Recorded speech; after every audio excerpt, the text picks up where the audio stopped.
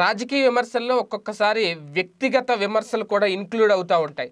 రాజధానికి సంబంధించి ఆంధ్రప్రదేశ్లో జరుగుతున్న యాజిటేషన్స్ ఏవైతే ఉన్నాయో ఈ నేపథ్యంలో తెలుగుదేశం పార్టీ నేతలు వైఎస్ఆర్సీపీ మీద అలాగే వైఎస్ఆర్సీపీ నేతలు తెలుగుదేశం పార్టీ మీద చేసుకుంటున్న ఆరోపణలు గత కొద్ది రోజులుగా అందరికీ తెలిసినవి. అయితే తాజాగా ఒక స్టెప్ ముందుకు వేస్తున్నారు. ఒక్కొక్కరు కూడా ఎప్పుడైతే అమరావతి రైతుల దాడులు జరుగుతున్నాయో రైతులకు సంబంధించి కానివ్వండి లేదంటే వైఎస్ఆర్సీపీ నేతల మీద చేస్తున్న దాడులు ఏవైతే ఉన్నాయో వాటిని కప్పిపుచ్చుకునే ప్రయత్నంలో వాటిని సమర్థించుకునే ప్రయత్నంలో తెలుగుదేశం పార్టీ నేతలు వ్యక్తిగతంగా వైఎస్ జగన్మోహన్ రెడ్డి గారి మీద చేస్తున్న కొన్ని కొన్ని ఆరోపణలు ఇప్పుడు సంచలనంగా మారుతున్నాయి.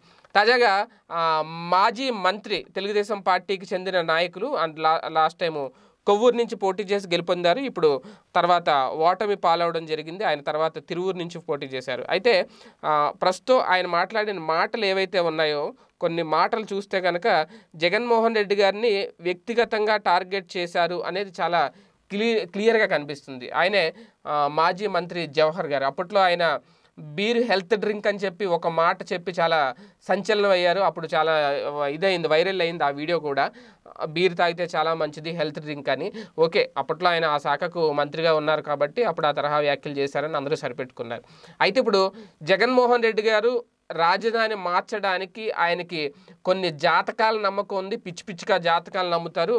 స్వరూపానందేంద్ర సరస్వతి దీనికి వెనకాల ఉన్నారు. ఆయన వల్లే ఇప్పుడు ఈయన ఆయన చెప్పాడు కాబట్టి రాజధాని ఎక్కడి నుంచి తీసుకెళ్ళిపోయి విశాఖ పెట్టేస్తున్నారు. ఆయన కూడా విశాఖపట్నం చెందిన వ్యక్తి కాబట్టి ఈ జాతకాల పిచ్చితోనే రాజధాని మారుస్తున్నారు తప్ప అంతకు మించి ఏం లేదు. ఈ ఆలోచన కూడా జగన్ గారిది కాదు స్వరూపానందేంద్ర సరస్వతిది అనేది ఆయన చేసిన ఒక ప్రధానమైన ఆరోపణ.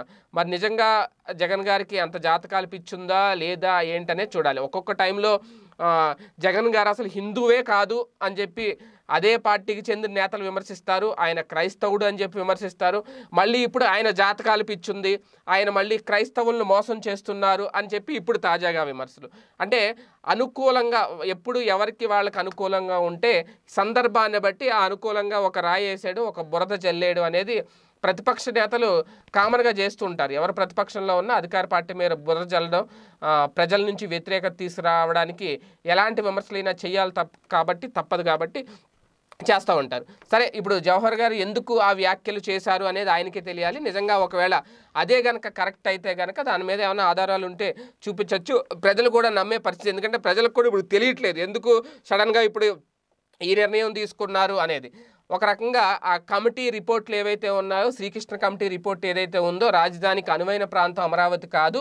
ఖచ్చితంగా అక్కడ నూట ముప్పై అడుగుల లోతు అక్కడ భవనాలు పునాదులు తీసి భవనాలు నిర్మించేందుకు అక్కడ అనువైన స్థలం కాదు. ఖచ్చితంగా దాన్ని మార్చాలి. ఇప్పుడు గ్రీన్ ఫీల్డ్ సిటీ ఏర్పాటు చేయాలంటే గ్రీన్ ఫీల్డ్ రాజధాని ఏర్పాటు చేయాలంటే చాలా ఖర్చుతో కూడుకున్న పని కాబట్టి ఆల్రెడీ డెవలప్డ్ సిటీ ఫైనాన్షియల్గా డెవలప్ అయిన సిటీ విశాఖలో రాజధాని ఏర్పాటు చేస్తే తక్కువ భారం కూడా పడుతుంది ఆర్థికంగా ఆంధ్రప్రదేశ్ ప్రభుత్వం మీద అనేది ఆ కమిటీల సారాంశం. అందుకే రాజధాని మారుస్తున్నారేమో అని అందరూ అనుకున్నారు. కానీ జగన్ గారికి జాతకాలు పిచ్చి స్వరూపానందేంద్ర సరస్వతి వెనకాలండి ఆయన మారుస్తున్నారు అని ఇప్పుడు కొత్తగా ఆయన తెర మీదకు తీసుకొచ్చారు కాబట్టి ఏమో ఒకవేళ అది నిజమైతే ప్రజలు కూడా ఆలోచిస్తారేమో. ఎందుకంటే ఎవరి వ్యాఖ్యల్ని మనం తప్పుపట్టాల్సిన అవసరం లేదు. మరి జవహర్ గారు ఎందుకు ఆ తరహా విమర్శలు చేశారు అనేది ఇంకా ఆయన విజ్ఞతగా వదిలేయాలి. నిజంగా మరి జగన్ గారికి జాతకాల పిచ్చుందా లేదా అనేది ఎవరికి తెలియదు ఒకవేళ అది కనుక ఉంటే మరి ఎప్పుడు ఏ జాతకాలు చూసి ఆయనకు ముందుకు వెళ్ళారు? ఏంటి? ఎందుకంటే ఆయన సర్వమత ప్రార్థనలు చేస్తారు. అన్ని మతాల వారు ఆయన సీఎంగా ప్రమాణ స్వీకారం చేసినప్పుడు అందరూ వచ్చారు అందరూ ప్రార్థించారు. క్రైస్తవులు ప్రార్థన చేశారు ముస్లిమ్స్ వచ్చారు హిందువులు పూజలు చేశారు అందరూ చేశారు. ఓకే. ఇక్కడ మాత్రం ఒక ఆరోపణ అయితే తెర మీదకి వచ్చారు. ఎందుకు తీసుకొచ్చారు? ఎందుకు రాజధాని మారుస్తున్నారు అనే దాని మీద.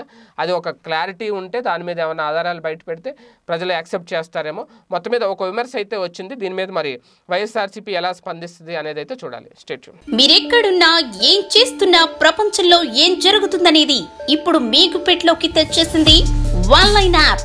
Political movies రాశి ఫలాలు ఆరోగ్య సలహాలు సీరియల్స్ విశేషాలు. ఇలా ఒకటేమిటి? బోలెడన్ని విశేషాలను మినిట్ టు మినిట్ మీకు అందిస్తుంది one line app. So late ఎందుకు?